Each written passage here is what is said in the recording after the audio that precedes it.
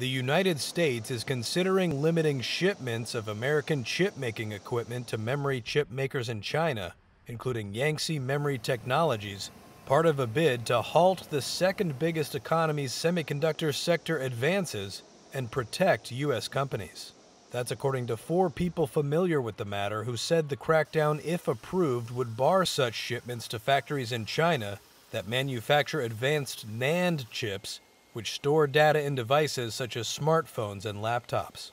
The sources speaking on the condition of anonymity also said it could hurt South Korean memory chip juggernauts Samsung Electronics and SK Hynix if the Biden administration proceeds with the move.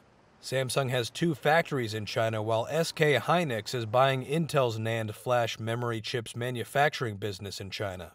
The move also would seek to protect the only U.S. memory chip makers, Western Digital and Micron Technology, which together represent about a quarter of the NAND chips market.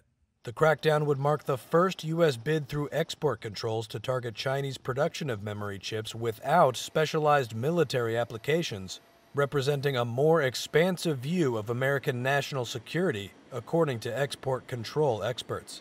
All the sources described consideration of the matter as in its early stages, with no proposed regulations yet drafted.